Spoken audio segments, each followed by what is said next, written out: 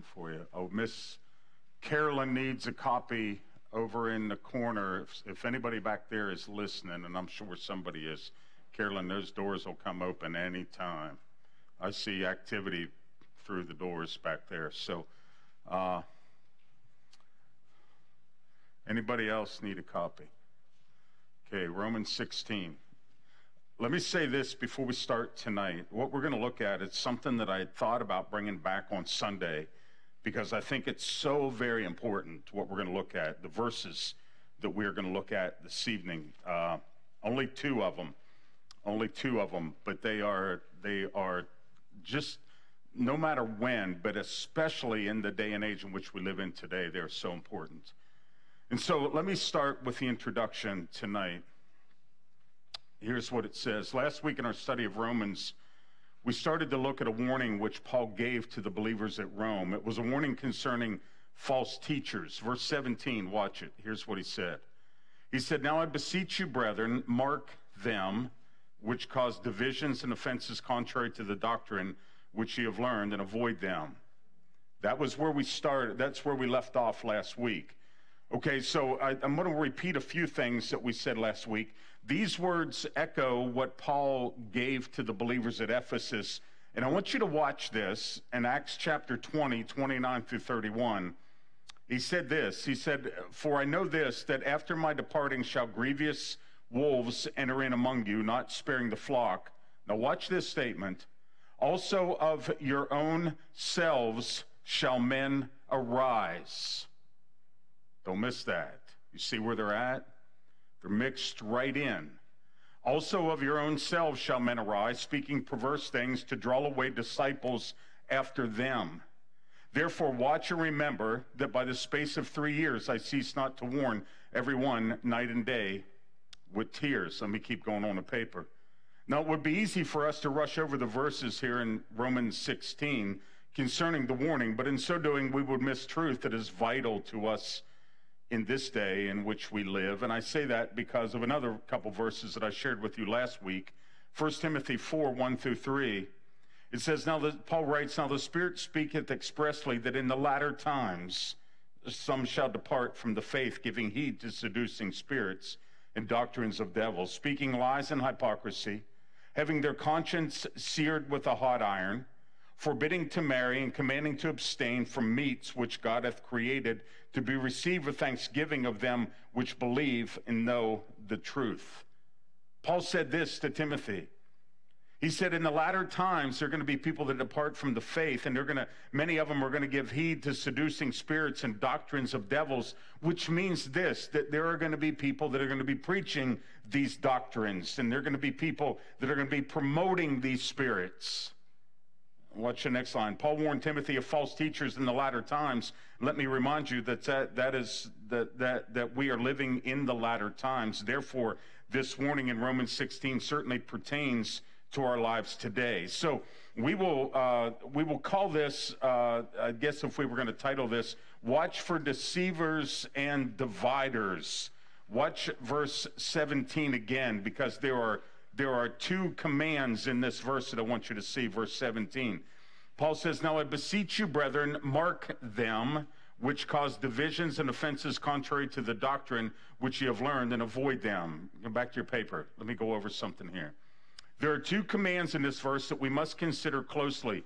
Command number one mark those who teach contrary doctrine that will cause divisions and offenses. So they are to be marked. Let me go on.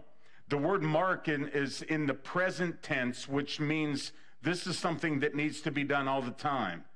To mark them means to watch closely. It actually has the idea of scrutinizing false teachers or watching them closely. Recognize who they are and keep an eye on them. Keep an eye on their followers. Keep an eye on anybody that is connected with them because they are extremely dangerous. That's what he's saying. That's the idea right here. Let me go on. Now, let us understand, and I need to add this this is not permission to watch others very closely, waiting for them to make a mistake or to say something that is not correct. That's not what he's talking about. That is what people involved in legalism do. They just wait for somebody to somehow along the line make some kind of mistake. They watch other believers with a judgmental eye. Jesus warned about doing this on the Sermon on the Mount. In Matthew 7 1 through 5, here's what he said He said, Judge not that you be not judged. In other words, that, that could read like this Stop criticizing. Stop criticizing. Watch this. For with what judgment ye judge, ye shall be judged, and with what measure ye mete, it shall be measured to you again. And why beholdest the mote that is in thy brother's eye, but considerest not the beam that is in thine own eye? Or will thou say to thy brother, Let me pull out the mote out of thine eye, and behold, a beam is in thy own eye? Thou hypocrite. First cast out the beam out of thine own eye, and then shall thou see clearly to cast out the mote out of thy brother's eye. So that's uh, the situation there was he was addressing, I believe, the Pharisees and their hypocrisy. And I think that was what the beam was that was in their own eye. They, the, the Pharisees were so critical of everybody that did not walk or live the way that they lived. And so they were always criticizing others, but they themselves were far from being perfect. And so they were very critical of everyone else. And I believe that's what Jesus addressed here. And that's not what Paul's saying here whenever he says, mark them. He's not saying, live uh, and, and, and look at people in a suspicious way all the time. That's not what he's saying. Watch this. Paul's not commanding his readers to watch with a critical eyes, telling them and us to keep an eye out for people who teach that which is contrary to the Bible. That's what he's saying. Watch out for people that teach things that are contrary. Those, when, when you hear something and it causes a flag to go up in your mind, pay very close attention to that individual. That flag has went up in your mind for, for a reason. I remember somebody told me not too long ago, it's been a couple years, I'd say not too long ago. That's not very long ago anymore. Years ago, a couple years was a long time, but now it isn't. It's a short span. But somebody told me that they were in a church where there was somebody preaching a false doctrine, and, and they said this to me. They said, You know, there's just a feeling that I get whenever I sit in that church that something is not right. That's called discernment. That's called discernment. And so when we hear somebody teach something and it just it just doesn't seem right, it doesn't line up with the scriptures the way we understand it, then we ought to question that and, and, and we ought to be very careful with that individual. So we mark those individuals that teach things, and that's what happens when somebody comes in and teaches something different. It causes divisions and offenses within the church. Somebody might side with them, somebody sides with somebody else. So that's one thing, marking them. But watch number two. This is what I wanted to get to. We are to avoid those who teach contrary doctrine. Let me read the verse again. Now I beseech you, brethren, mark them which cause divisions and offenses contrary to the doctrine which ye have learned. Now watch this and avoid them. Avoid them. Get away from them. Separate from them because they are dangerous. Watch this. Out of the two commands, this would be the one to place the most emphasis upon. We're to avoid those who teach false doctrine. Many have not heeded this command and they have dug into false teachings and they have exposed themselves to false doctrine, and the end result has been tragic. Many have been tossed to and fro and have been carried about by the false doctrines. Many of these believers have thought that they were strong enough to stand against the false teachings, only instead to be carried away with them. And I'll give you this warning that Paul gave in 1 Corinthians chapter 10 verse 12. He said, Wherefore let him that thinketh he standeth take heed lest he fall. There are people that are proud enough to think that it doesn't matter what they get exposed to, that it will never affect them. That is the worst attitude to have. You are setting yourself up for deception. Let me go on. Watch some of this. We must be very cautious to mark those who teach false doctrine and then avoid them in their teachings. Watch the words of Newell. Watch what he writes, and I, and I quote Satan has deceived some good preachers into personally investigating evil people and conditions in order to preach against them. I've heard that before. I study, people say, well, I study this so that I can preach against it. Let me just say this if you study the Word of God, you don't have to study the false doctrine because if you know the truth, you will automatically recognize the error of the false doctrine. You understand that? So we don't, uh, there is that tendency to go over and jump over the fence and say, well, I'm going to study this false doctrine just so I know more about it. You put yourself in a very dangerous situation. Very dangerous. Watch this. Let me go on. But God says, the things that are done of them in secret, it is a shame even to speak of. Preach the word for therein will be found abundant discoveries of evil and denunciations thereof. But being the word of God, it is holy and may safely be used in exposing evil. It is like the sunshine that lights up the foulest alley without it, without being itself defiled. Don't go down the alley personally lifting the lids of the garbage cans or you will smell of it, unquote. You cannot do that. You cannot put yourself in contact with that false teaching because what it will do is this. I can assure you this that somehow, some way, it is going to influence you. It is going to influence you. Let me go on. Many ministers have taken the walk down the dark alley, lifting the lids of the garbage cans, and in so doing, they've been swept up by theological error. They do not lose their salvation, but they crippled their ministry. They have had their usefulness for the Lord severely damaged, and some to the point of destruction. They are no longer useful. That can happen. They get off on a false teaching and, and, and they get all wrapped up in that and they get set on the shelf because they're no longer useful. Let, let me go on. Watch this. We must avoid those who teach false doctrine. We must turn away from them. Let me share the words of Newell again on this thought, and I quote the, watch this, the inability to turn resolutely and wholly away from false teachers and evil workers is a mark of spiritual ill health, decadence, and, po- and possibly of the state of spiritual death itself. Mad dogs are shot, infectious diseases are quarantined. But evil teachers who would divide to their destruction and draw away the saints with teaching contrary to the doctrine of Christ and his apostles are everywhere tolerated. How ghastly and ruinous is this false toleration? Let us take heed lest we partake in the evil deeds of such evil workers. Unquote. You understand? Here's what happens today there is so much compromise. Whenever there is somebody that, that that teaches a false doctrine, churches compromise, maybe because the individual is a popular individual, and so they want to have him in to somehow draw a crowd. Listen, that, that is absolutely wrong. You cannot do that. And you and I cannot, we cannot plug in with those and uh, that teach the false doctrine because eventually it's going to poison the mind is exactly what it's going to do.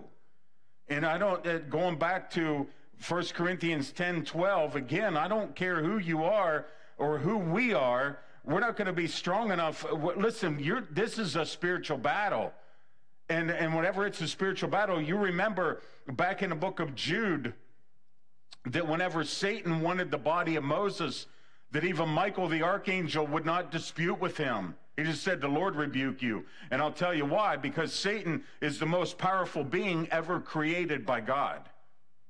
And so, for you and I to try to match minds with him, I'll tell you right now, we are outmatched and we don't stand a chance. Watch what, uh, watch this next part. The Apostle John addressed the subject of false teachings in Second John. Second John chapter 1, verses 9 through 11, he wrote this. Whosoever transgresseth and abideth not in the doctrine of Christ hath not God. He that abideth in the doctrine of Christ, he hath both the Father and the Son. Okay, so now watch what he says here.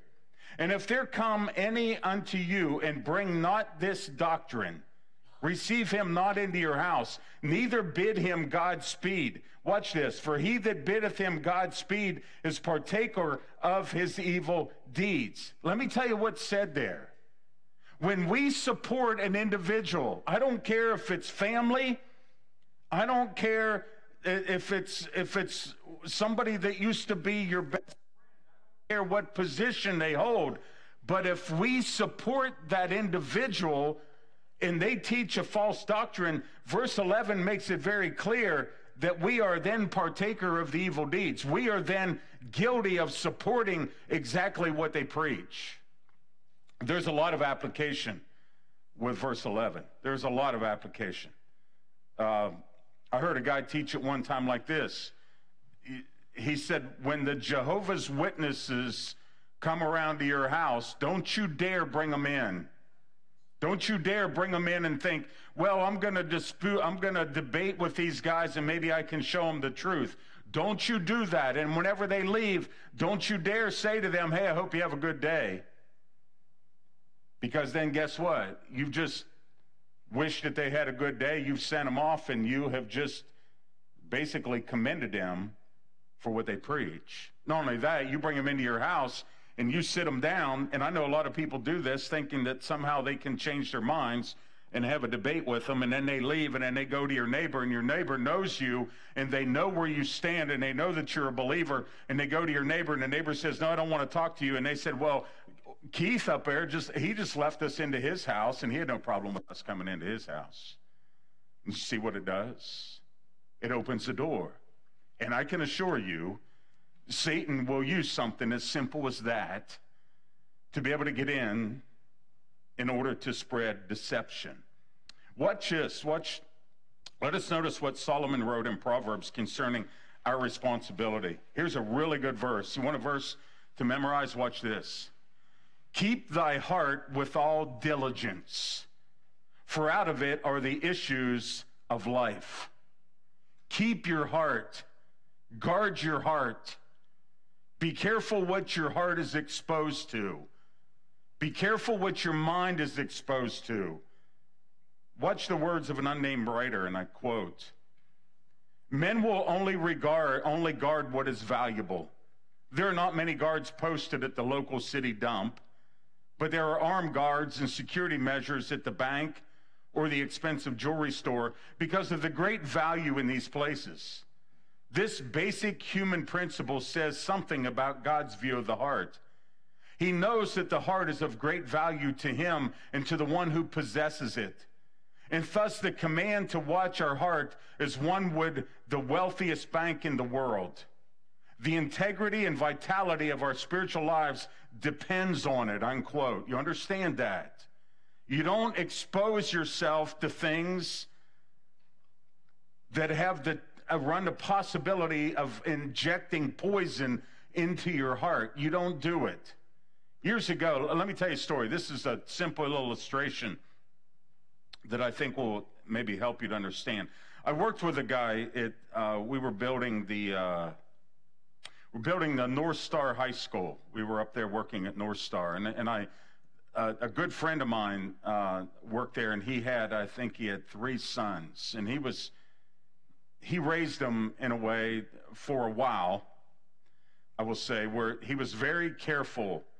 He said we, we were careful about what they were exposed to and what they watched. And so he said, uh, my middle son got invited to a sleepover one night. And he said, I was hesitant to let him go with his friends and spend the night. But he said, and against my better judgment, he said, I let him go. And so he said he got to that boy's house that night, and somebody came up with the idea that they ought to watch a couple horror movies. He said, My son had never, ever been exposed to that before. He said, So they sat that night and they watched the horror movies. He said, Here we are years later. And he said, My son still has night tremors. Because what he got exposed to that night affects him even now, years later. I use that to say this that you and I expose our minds to the wrong thing, to the wrong doctrine, and it gets injected into the mind, it can mess you up way down the road. That's why the end of the verse, Paul says, avoid them avoid them. Don't think that you're going to wade into a situation and you're going to change somebody's mind. Don't think that you're going to enter into a debate and it's not somehow going to affect you. Paul says, avoid them, mark them, and avoid them. Get away from them. Get completely away from them. Because if you don't, like Newell said, it's like lifting the lid on garbage cans. And you can't lift garbage cans' lids without coming away smelling like them. Pastor Richie used to say this: "You can't fly like an eagle if you're gonna if you're gonna flap around with turkey buzzards," and that's exactly right. And you can't. Another one that he used to say is this: He said, "You can't rub shoulders with the swine without coming away smelling like them." And that's exactly what happens.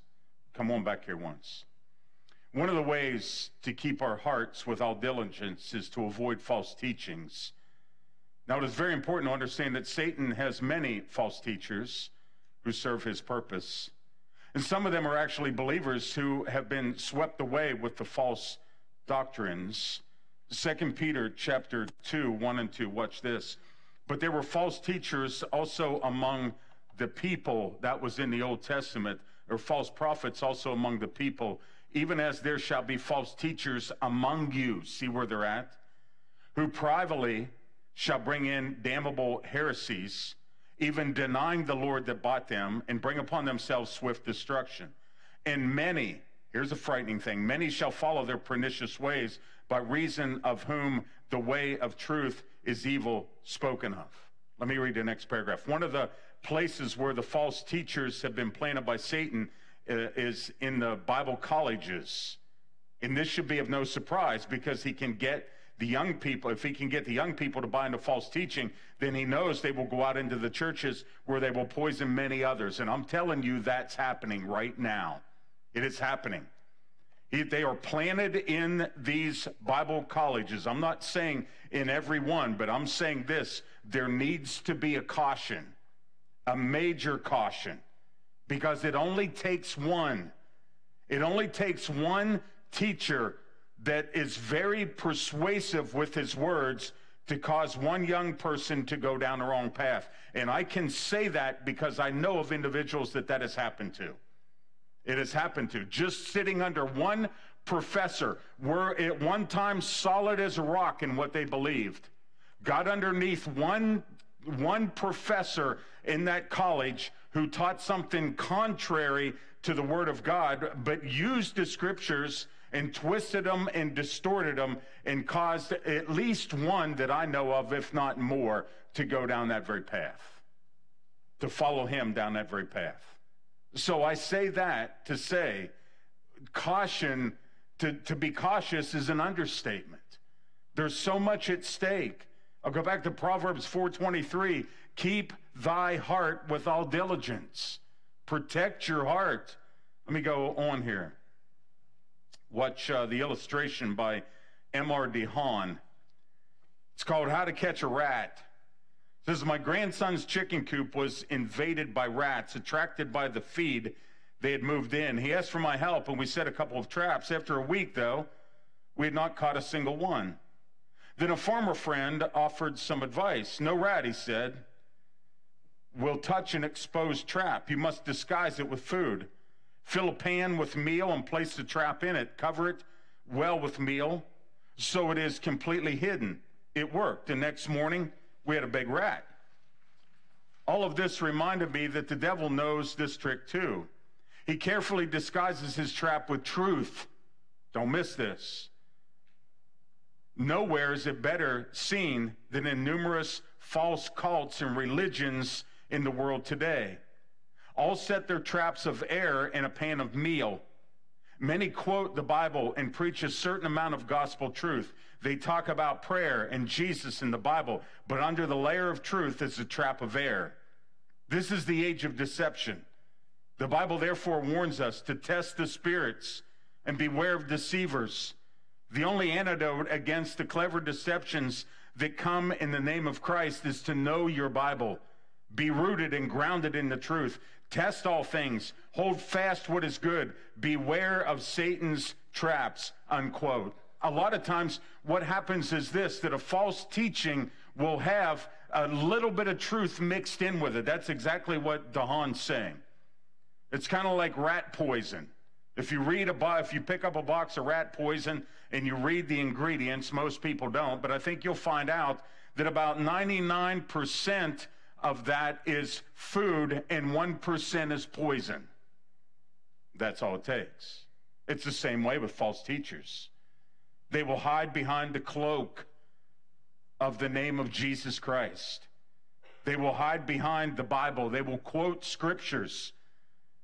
They will, they will, they will cast truth around, but it's only covering up what lies underneath that. You have to understand that. Watch uh, 16, 18 now. There is so much here. Um, we're hitting at the high points tonight. Watch verse 18. For they that are such, watch this, serve not our Lord Jesus Christ, but their own belly, and by good words and fair speeches deceive the hearts of the simple. Now, what's he saying? They don't serve the Lord Jesus Christ. They're, they're not serving him, but they're, they're serving their own belly. Watch what I have on your paper here. Here is, uh, here is, it should say, some very interesting insight. These false teachers are not living to serve the Lord, but they're living to satisfy their own desires. That's what it talks about. That's what it means whenever it says they serve their own belly, their own desires, their own appetites. This verse tells us that they do not serve the Lord, but they serve their own belly. This means they live to serve their own desires and appetites. The idea here is that they are slaves, that they are, that they are, that should say they are not slaves of the Lord Jesus Christ, but are slaves of their own desires. What a sad and fearful state to be in. To be among those filled with love for the Lord and also among those filled with love for one another as members of the body of Jesus Christ, but to be controlled by selfish desires. That's what they are. They are controlled by selfish desires. Watch the words of John Bunyan. He says this, and I quote, A man will go far for his own belly's sake, unquote. And I can assure you that is the truth. When a man has a desire for something, I, boy, I've seen this over the years, and we're all guilty of it. You know how it is. If you want something, it, over the years, you can probably, all of you can think back to the, to the point that if you want something bad enough, you'll do anything to get it. You remember those days? I remember back to those days. I watch people fall into that trap now, and it makes me shake my head. And I think, well, you know, if somebody would have said something to me back then, I would have justified it with some statement or whatever. But you know how it is. If you want something bad enough, and I'll, I'll give you a, a, a really good example. You know, sometimes whenever it's raining or sometimes it's maybe cold out and you have trouble getting, sometimes people don't want to come to church. Well, the weather wasn't very good. But just go to their house the first day of deer season whenever it's freezing rain and the wind's blowing 190 mile an hour out of the north and they're sitting up in a tree about 18 feet up with a belt around them in the tree, swaying back and forth, and they'll sit there all day long. Isn't that amazing? When you want something bad enough, you'll do it. I can assure you. When you want it bad enough. And that's what, that's exactly this here. You say, well, what, what are they looking for? What do they want? Well, I'll get to this in a moment, but I'm, I'm going to say this right now because I've already led up to it. It, it may be fame. Uh, uh, it, it, could be uh, finances. Uh, it could just be the pride of having a position. Just something. It's a desire that they have, that, that they want. Uh, let me, boy, I'm already out of time. Let me, let me say, I, I want to tell you something, and maybe this is a confession, and confession is good for the soul, but back when, when I remember when we came to Claysburg Bible Church, and I, uh, came there to fill in. Didn't really come there to candidate, just came there to fill in. And, and I remember saying to Penny, I, uh, whenever we left there that day, the first time that we were there down at the old church, I said, it's a nice place to visit, but I wouldn't want to end up there. That was that were I can remember those words. Very nice place to visit, nice people, but I don't want to end up there. And let me tell you why I didn't want to end up there because I had pictured in my mind that God was going to set me in a very elaborate setting. And that was my desire. And that wasn't an elaborate setting. The walls were bulging out, not because of people, but because the building was falling down. And so God had to work and work and work. And so, and, and now as I get older, I realize that it's not about how many people and it's not about the setting. The building's nice, the addition's nice. But we could accomplish the very same thing if we had to meet in a barn somewhere, couldn't we? We could accomplish the very same thing. But I say that to say that there are people that get set on certain things, and that's what they want. That's the desires of the belly. That's the personal appetites. Let me go back. I got to keep going because I'll have you here all night. It says, "Oh, how true this uh, how true this statement is." I've witnessed people who have confronted with the truth of God's word, but they were slaves to their own desires, and for that reason they suppressed the warnings of God's word and continued to pursue their cravings. Watch verse 18 again. Let me read it one more time. For they that are such serve not our Lord Jesus Christ, but their own belly, and by good words and fair speeches deceive the hearts of the simple. Watch this. I want you to notice what, the, what tools the false teacher uses to deceive his followers. One is good words. This is, a, this is referring to smooth words. The false teachers use words that are appealing to the listeners. They're smooth and flowing. These teachers are very easy to listen to for those who are unlearned. Fair speeches. This refers to language that is designed to captivate the listener. It is polished language. Looking at both of these terms, we can understand that those who proclaim, and not all, but I, am just going to give you this for a moment, who proclaim false doctrine are often educated people with many degrees. Not always. Don't, don't look at somebody with a whole bunch of degrees and say, that guy, the pastor said he's a false teacher. I'm not saying that. But a lot of times that's where it comes from. It's interesting to me that when we look at the first disciples, which Jesus chose, they were fishermen and farmers. Luke was an exception for he was a doctor. Watch what's said in 1 Corinthians chapter 1, 26 through 28. It says, Paul says, For you see your calling, brethren, how not many wise men after the flesh, not many mighty, not many noble, noble are called. But God had chosen the foolish things of the world to confound the wise, and God had chosen the weak things of the world to confound the things which are mighty and base things of the world and things which are despised God hath chosen, yea, and things which are not, to bring to naught things that are. God, God loves to work through a vessel that, that is not polished, that, that is not, uh, I'll say this, that is not refined so that he can that he can get in that vessel and he can mold it and shape it the way that he wants it instead of the way that that vessel desires to be shaped.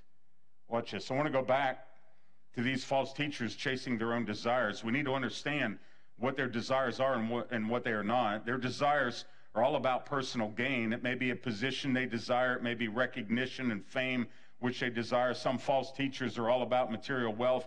They do not desire to honor or glorify God by preaching the truth. They do not have a shepherd's heart for the people. That is probably the, one of the best ways to recognize that false teacher. No shepherd's heart. No shepherd's heart. I could spend a lot of time on that. Watch one more time because I want to get you to the end here. For they are such as serve not our Lord Jesus Christ, but their own belly, and by good words and fair speeches deceive the hearts of the simple. Back to your paper. Their victims are the simple. What's your definition of simple? Fearing no evil from others distrusting no one. Be careful. Be careful. We're to love individuals. We're to love everybody, without a doubt. But in the day and age in which we live in, we've got, well, let me just go on to the next part, okay? To 1 John 4 1 through 3. I'll let God say it because he says it far better than I can. Verse 1 Beloved, believe not every spirit, here we go, but try the spirits whether they are of God. That's what I'm saying. Okay, you can love individuals, but listen, you try the spirits. You be, I could go back and look at the verses that say, lay hands on no man suddenly. Okay? Don't grab a, somebody real quick for a position. I say this don't, don't jump right on a bandwagon because everybody else is as it drives by. Remember what Peter said many shall follow their pernicious ways. They will have a crowd. They will have a crowd. Let me go on. Let me show you what John says again. Beloved, believe not every spirit, but try the spirits whether they are of God, because many false prophets are going out into the world. Hereby know ye the Spirit of God. Every spirit that confesseth that Jesus Christ is come in the flesh is of God. Now, let me tell you, in John's day, apparently there was a teaching, a false teaching going around that Jesus Christ was not a man. You see what he says there? Every spirit that confesseth that Jesus Christ is come in the flesh is of God. Watch the next verse. And every spirit that confesseth not that Jesus Christ is come in the flesh is not of God. And this is that spirit of Antichrist whereof you have heard that it should come and even now already is in the world. Okay, so in, in John's day, there was a false teaching that Jesus was not a man. He was not a man, which would eliminate him as a savior for us because our savior had to be of the same family, had to be a human, had to be a man. So you see, that was a major problem in John's day. Today, and, and over the years, there have been many, many attacks upon Christ, and there have been many false teachers. Paul here is warning in general. He's saying, look, whatever they teach, if it's a false doctrine, number one, mark them. Number two, avoid them. Number three, know what they are about. Know what they are about. They are about satisfying their own desires. They will, they will use flowing words, they will use persuasive speech, and they will deceive the hearts of those that are simple, those that are quick to latch on to them, those that do not try the spirits. They will deceive them. Conclusion, I got to finish up here. Let us be very careful concerning teachers whom we are not familiar with, and let us be very careful about trusting someone because they named the name of Jesus or because they are on some religious program. Satan will plant false teachers anywhere he can to lead the church into confusion. And that's what it's all about. It's about confusion. It's about disruption. It's about right here, about uh, uh, divisions and offenses. Is exactly what it's about. He can't steal away our salvation. He can't do that. So what he would love to do would be this, would be to divide us and cause us to have offenses in, in situations where pride enters in and you don't offer forgiveness. He would love that, nothing more than anything else, to try to destroy the Claysburg Bible Church from the inside. We can't do that. We got to be very, very careful. Let us pray. Father, thank you. Thank you for your word tonight. Thank you for the warning that the Apostle Paul gives us. Lord, we could have spent weeks upon that warning, but Father, we get enough tonight to know what it's all about. And so I pray that Lord, that we will heed the words of John when he tells us to try the spirits. Let us be very cautious with teachers. Let us be very, very cautious.